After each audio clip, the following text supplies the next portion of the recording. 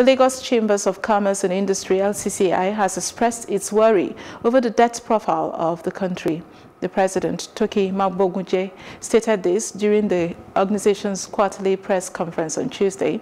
She asked the government to take action, to take caution rather, in the use of debt in meeting fiscal obligations.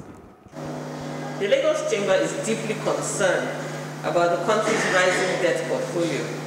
According to official statistics from the Debt Management Office, public debt stock increased by 4.5% to 28.63 trillion naira as of March 31st, 2020, from 27.40 trillion naira as of December 31st, 2019. We note the federal government's resolve to raise funds locally and externally to bridge the deficit in the fiscal budget. The federal government has secured 3.4 billion US dollars and 288.5 million US dollars credit facilities from the IMF and the African Development Bank respectively, while discussions are ongoing for another $1.5 trillion facility from the World Bank.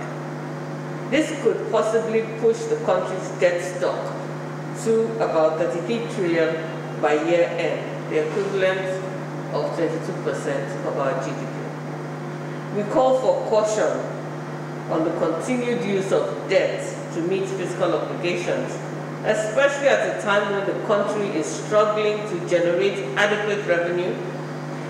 The option of equity financing should be more rigorously explored, explored and it is a better and more sustainable financial strategy that could be deployed to bridge fiscal debt.